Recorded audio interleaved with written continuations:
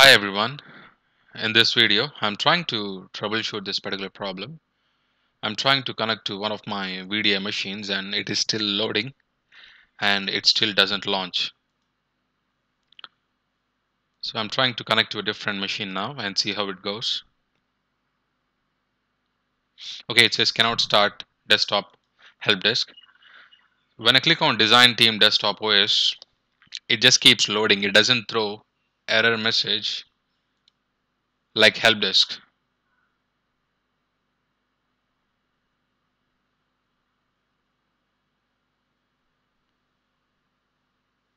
Okay, it's still loading, but it is not launching for some strange reason.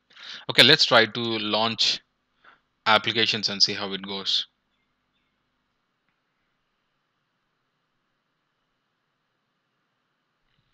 Okay, we're getting the error message, cannot start desktop help desk once again. Let's wait and see what is going to happen when we click on virtual applications.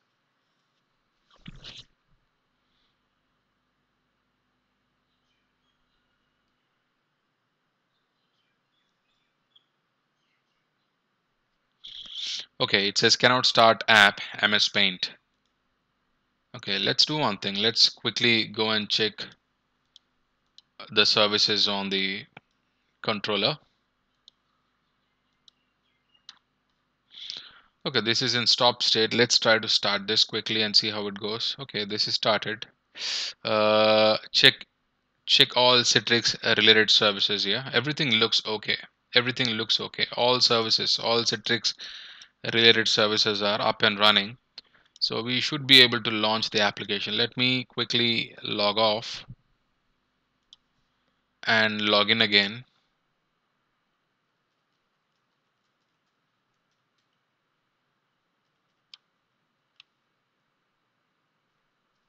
and sign in and see how it goes.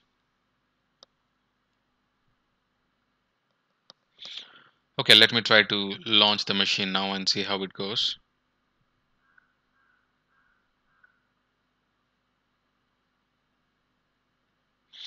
Okay, it still throws the error message, cannot start desktop help desk. Let's do one thing. Let's quickly. Uh, everything looks okay actually from the back end. Uh, let's do one thing. Okay, let's do one thing. Let's try to connect using a different account and see how it goes just to make sure if it is a single user issue or multiple user issue. Okay, let me log in. Uh, let me log in as Citrix user 1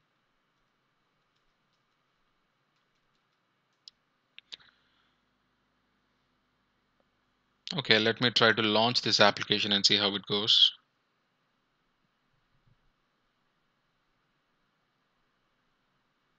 Okay it still throws the same error message. Let me again try to launch a VDI machine and see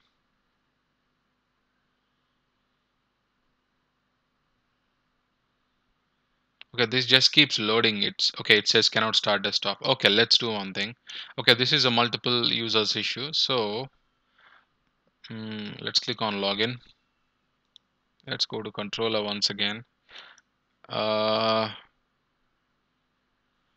this shouldn't be a problem but let me try to log in once again and see how it goes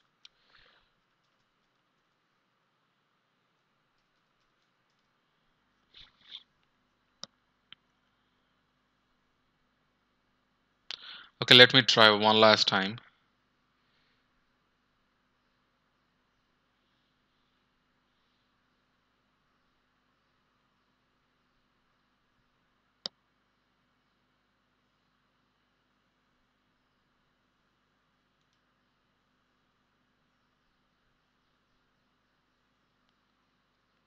Okay, it just keeps loading. Okay, let us quickly check the status of this VDI machine actually, whether it is registered or unregistered.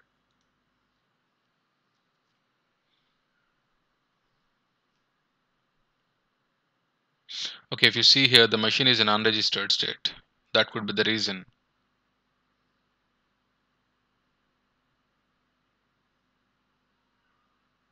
Okay, it's in unregistered state.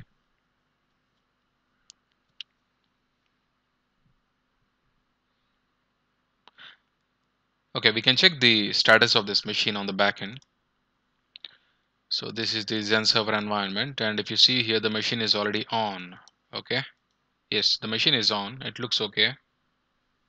Yeah, it looks okay. The machine is on but still okay let's try to refresh and see how it goes.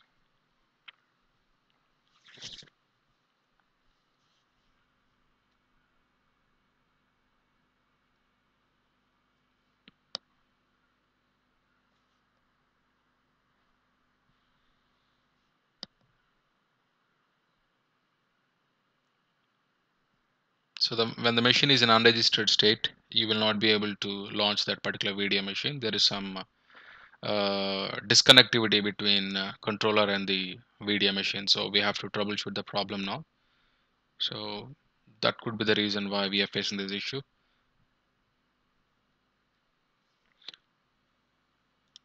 In the meanwhile, what I'm going to do is I'm going to log into this VDA machine and see what is actually happening there.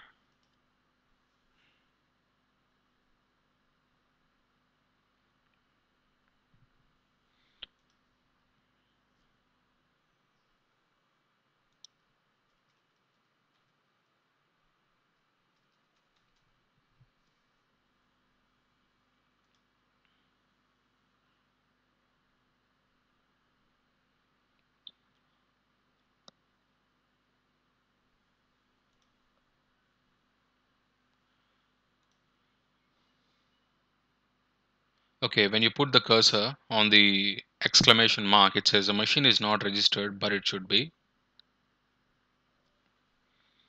And let me drag this up. It says, okay, a machine is not registered, but should be.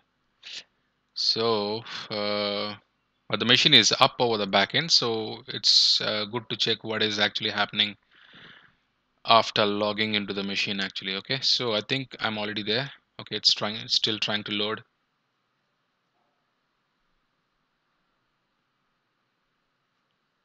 So there could be many reasons why a machine can go to unregistered state. So sometimes a machine could be turned off and once you turn on machine goes to unregistered state. Or it could be any other reason. So let's let's troubleshoot this problem here okay let's quickly check the firewall once.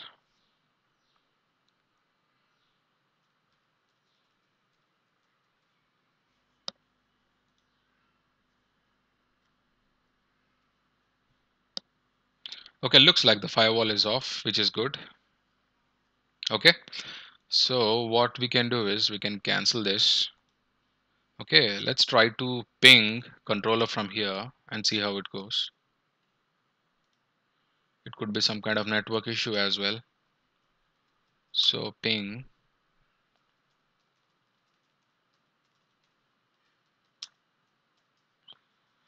okay we are able to ping delivery controller from the VDA machine without any issues. Let's do the, do one thing. Let's try to go to controller and let's try to ping the machine from the controller and see how it goes. Okay.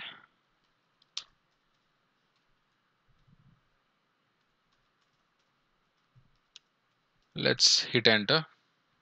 Okay, for some strange reason, it is it is saying uh, destination host unreachable. Okay, let's try to ping with the IP address and see how it goes.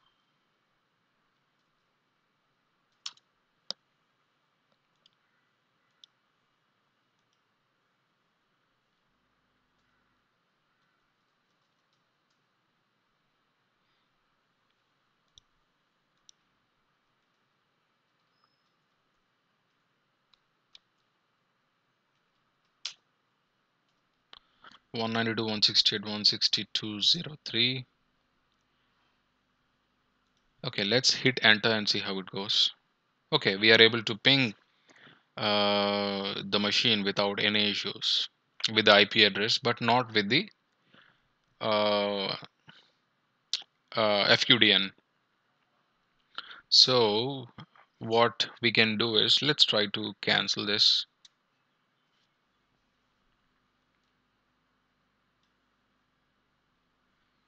now let's let's check if there is some kind of DNS issue.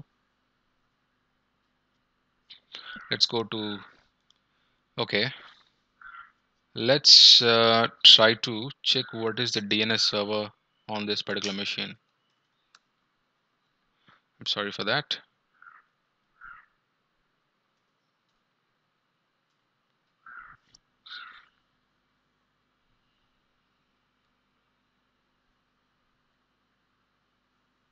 okay if you see here it is pointing to 192.168.162.1.4 let's check on the controller.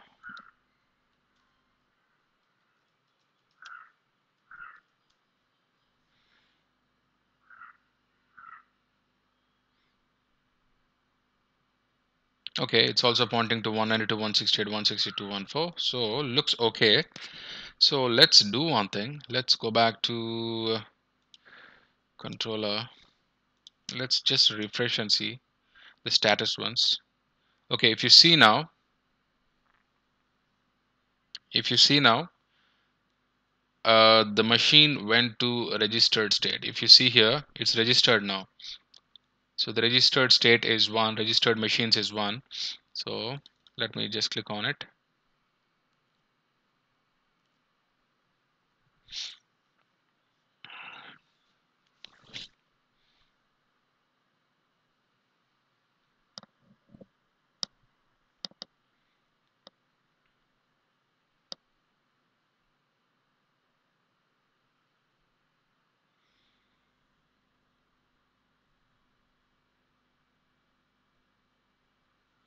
it should come up it should come up in a few seconds. Okay if you see the registration status here it's registered okay? So the issue has been solved. Let's try to uh, log off from this machine and try to launch the VDI and see how it goes okay? I'll log off. Let me log in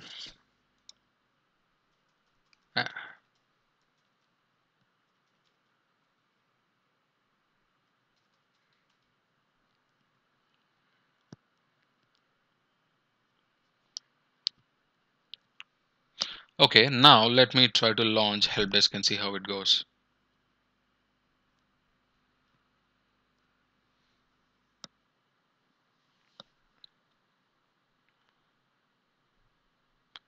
Okay, the machine is in registered state, so it should launch this time. Okay, it's trying to connect.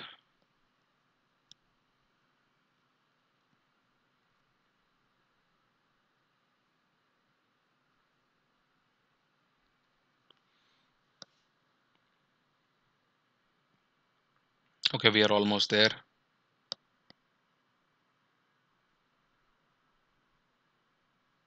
we have to make sure that we are completely on the desktop sometimes. It doesn't launch and it does it shows this black color screen. So yes we are on the desktop now.